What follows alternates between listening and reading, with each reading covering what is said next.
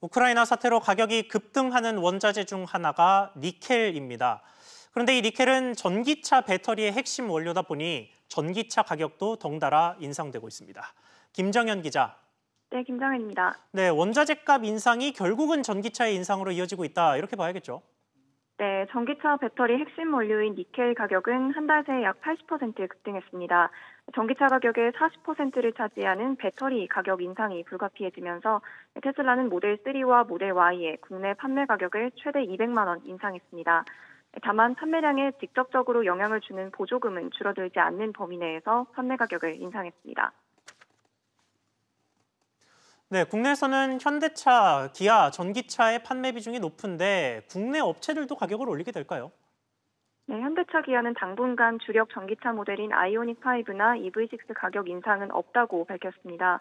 해당 모델은 국내 승용 전기차의 절반을 차지하는데 판매 가격이 보조금 100%를 받을 수 있는 5,500만 원 선을 맞춰 있다 보니 가격 인상 시 판매량에 직접적인 영향을 받을 수 있습니다. 다만 원자재 가격 상승세가 이어지면 아이오닉 6와 니로 2세대 등 올해 출시 예정인 전기차 신차 가격 인상은 불가피할 전망입니다. 현대차가 하반기에 출시할 예정인 아이오닉 6의 경우 LG에너지 솔루션의 배터리가 장착되는데요. LG에너지 솔루션의 경우 올해와 내년에 원자재, 가, 원자재 가격 인상을 반영해서 배터리 가격 인상을 검토 중인 것으로 알려졌습니다. LG에너지 솔루션은 올해 원, 원통형 배터리 가격을 평균 10%, 또 삼성 SDI는 7% 인상한 바 있는데 추가적인 가격 인상을 시사, 시사한 겁니다. 원자재 가격이 올랐기 때문에 이제 당연히 가격 인상은 불가피하다고 볼 수 있는데 준중형 이하 그쪽 가격도 올라갈 테니까요. 저가 차량들은 기능들 빼고 원가를 더 줄일 수도 있죠.